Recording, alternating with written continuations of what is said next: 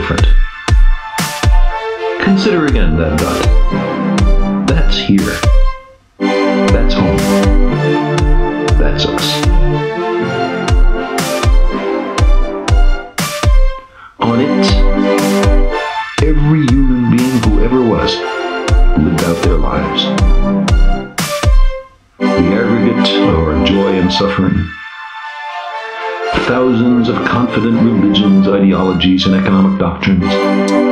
Every hunter and forager, every hero and coward, every creator and destroyer of civilization. Every king and peasant, every young couple in love, every mother and father, hopeful child, inventor and explorer, every teacher of morals, every corrupt politician, every superstar, every supreme leader, every saint and sinner in the history of our species lived there, on the mote of dust, suspended in a sunbeam.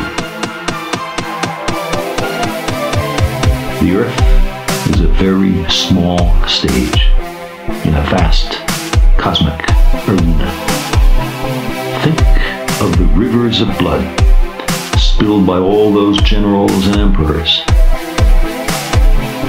so that in glory and triumph they can become the momentary masters of a fraction of a dot. Think of the endless cruelties visited by the inhabitants of one corner of this pixel on the scarcely distinguishable inhabitants of some other corner. How frequent their misunderstandings. How eager they are to kill one another. How fervent their hatreds. Our posturings, our imagined self-importance, the delusion that we have some privileged position in the universe are challenged by this point of pale light. Our planet is a lonely speck in the great enveloping cosmic dark. In our obscurity, in all this vastness, there is no hint that help will come from elsewhere to save us from ourselves.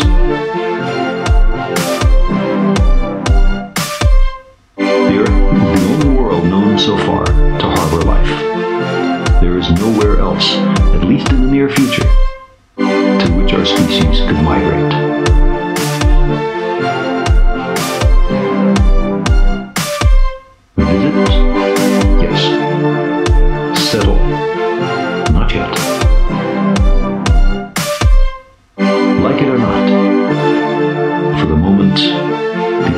Where we make our stand.